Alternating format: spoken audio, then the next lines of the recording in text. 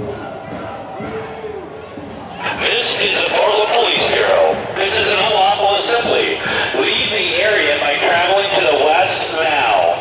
The area bound by Southwest Columbia Street to West Burnside Street from Southwest First Avenue to Interstate 405 is now closed. Failure to follow this direction and leave the area may subject you to